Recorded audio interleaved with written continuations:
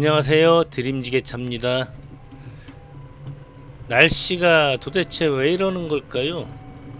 입추가 지나면은 조금 선선해질 줄 알았는데 아 더 절정으로 치닫고 있습니다. 더워도 보통 더운 게 아니죠? 자 지금은 골목에서 시멘트를 하차하고 있습니다.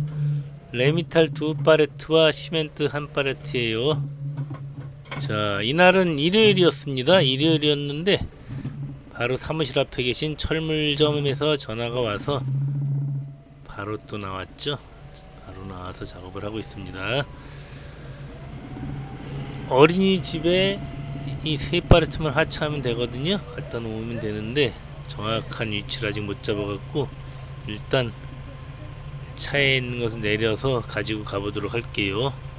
이런 골목은 조심해야 될 게 너무너무 많죠. 사방에 차들이 주차돼 있고 또 지나다니는 차량 지나다니는 사람 굉장히 많습니다.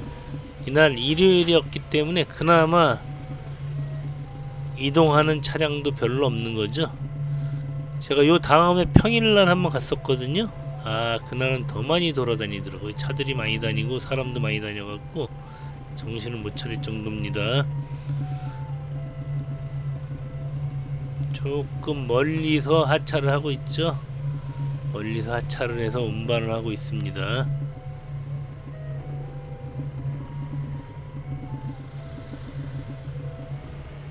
역시나 이제 골목 안에 있는 어린이집이기 때문에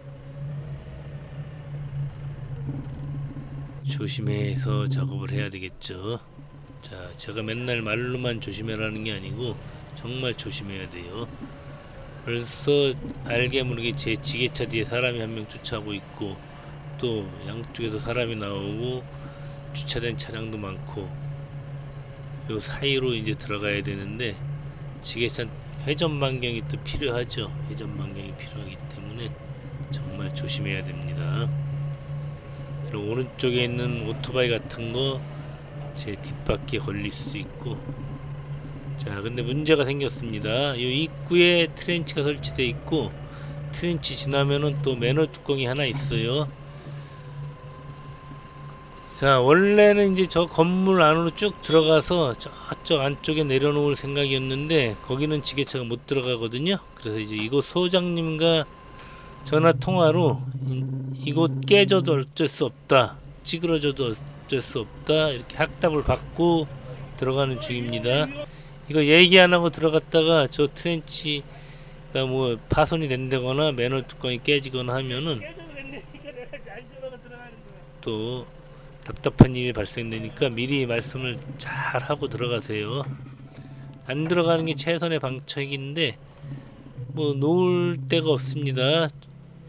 좁은 골목길이다 보니까 이런 자재를 내려놓을 곳이 없어요. 일단 말씀드리고 들어갑니다. 지금 저쪽 안쪽으로 오른쪽 안쪽으로 넣어드리면 좋은데 뭐 방법이 없어요. 들어갈 수가 없습니다. 4.5톤 지게차가 하나는 요 계단 위에 올려놓고 나머지 두 파레트는 왼쪽에 바짝 붙여 놓을 거예요. 왜냐하면 나중에 이제 이곳으로 손수레를 가지고 다녀야 된다고 하더라고요. 폐기물을 가지고 다녀야 되는데 지금 오른쪽 길로 다녀야 되거든요. 그래서 지금 또 제가 네미타를 잘 내려놔야지 잘못 내려놓으면은 그 길을 막게 돼 버릴 거 아니에요. 그러면은 문제가 생기겠죠. 자 일단 요런 거는 내려놓고 발 뺄 때도 조심해야 돼요. 어쨌거나 저 건물에 파손을 주면 안 됩니다.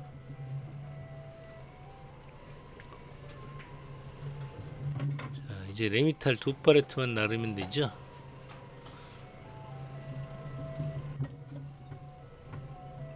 딱세 파레트니까 굉장히 간단한 작업인데도 불구하고 이 골목길에서 작업을 하다 보니까 굉장히 협소한 곳이라서 어쩔 수가 없죠. 자, 가고 있습니다.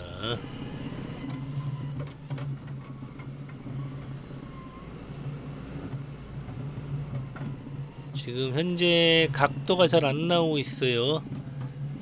저 길이 지금 저런 모양으로 되어 있기 때문에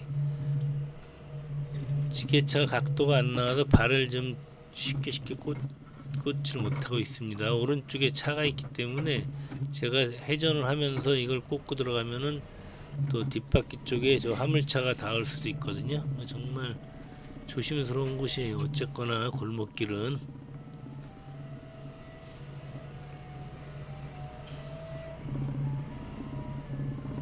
뭐 그러나 비교적 간단한 작업, 간단한 작업이기 때문에 그렇게 시간이 오래 걸리진 않겠죠.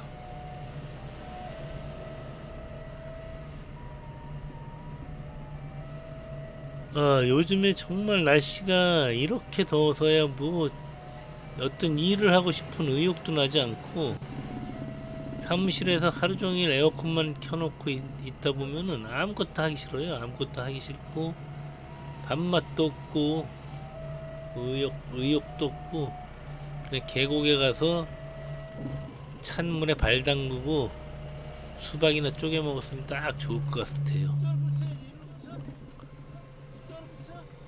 자 이렇게 들어갈 때 보면은 이제 자 제 지게발이 저 뒤로 얼마나 나왔는지 지금 보이진 않아요 보이지 않기 때문에 조금 이 파레트보다 조금 덜 들어가세요 지게발이 파레트보다 많이 나가 있으면은 이거 내려놓을 때 뒤쪽에 계단을 찍을 수가 있잖아요 그럼 이제 파손되는 돌도 있기 때문에 이제 저기 지금 이걸 봐주고 계신 반장님이 계시잖아요. 반장님한테 안 보이니까 고개 좀 봐달라고 말씀을 드리는 게 좋겠죠. 자, 안 보이니까 좀 봐달라고 말씀을 드렸어요. 그리고 들어가도록 하겠습니다.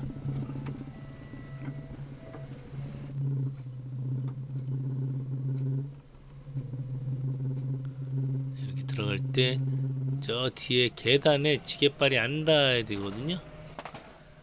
그래서 조금 지게발을 덜 집어넣은 상태에서 밀고 들어가 들어가는 거예요. 저기 신호를 해주시죠. 신호에 맞게 들어가서 왼쪽으로 최대한 붙여줍니다. 오른쪽으로 통로가 나와야 되거든요. 자, 이제 한 파레트만 더 오면 되겠죠. 다행히도 이거 세 번 왔다 갔다 하는 동안 저 트렌치가 찌그러지거나 매너 뚜껑이 깨지지 않았습니다. 그게 깨지면 안 되거든요.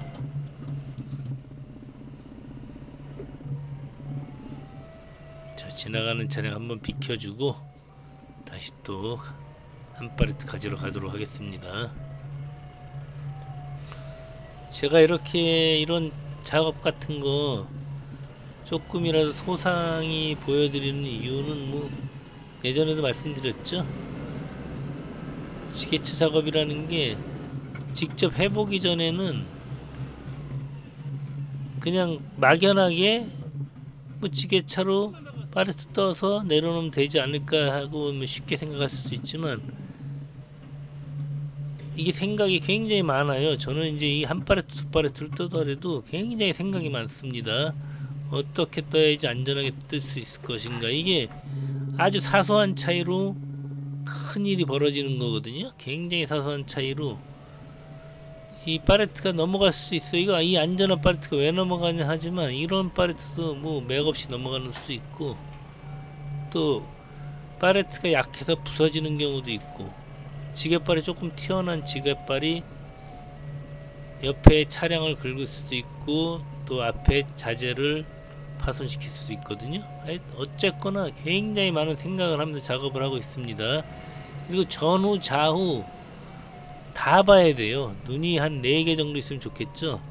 각자 따로 볼 수 있는 눈이 4개 정도 있으면 좋을 텐데 또 사람이 그렇지 않, 않잖아요. 한쪽만 보게 돼 있기 때문에 그만큼 많이 신경을 쓰면서 작업을 해야 된다는 거예요. 지게차 작업하는 거를 조금이라도 더 보여드리기 위해서 되도록이면은 편집 없이 가는 겁니다. 지루하시더라도 뭐 이런 작업이 필요하신 분들은 또볼수 있잖아요. 자, 어쨌든 재미없는 제지게차 많이 봐주셔서 감사합니다. 모두 모두 안전운전 하시기 바랍니다. 감사합니다.